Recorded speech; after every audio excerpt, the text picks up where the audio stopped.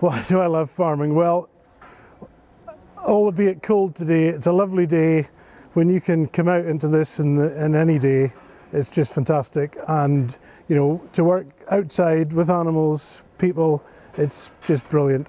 I wouldn't do anything else. Oh, out on a day like this, and look at this, my good friends helping eat the grass. What more do you want? I'm out in the healthy air. I love it. It's in the blood. It's been in the family. Oh, I just, ah, you'll not get me away from it. Why do I love farming? Um, I think one of the main things is there's no two days the same. Literally, we never have two days the same where we do the same job. I couldn't imagine getting up in the morning thinking I'm going to drive down that same piece of road, sit in that same office with the same computer, doing the same job. Uh, and on days like this, what better place is it to work? That's my office.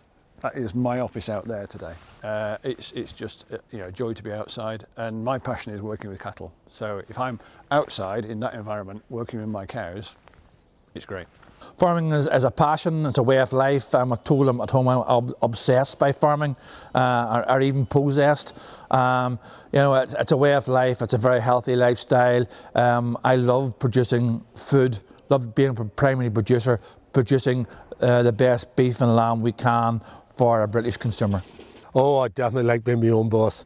Uh, the, the lovely part about being my own boss is that I can say something one day, but I can change my, my mind the next day, and nobody's going to give off to me.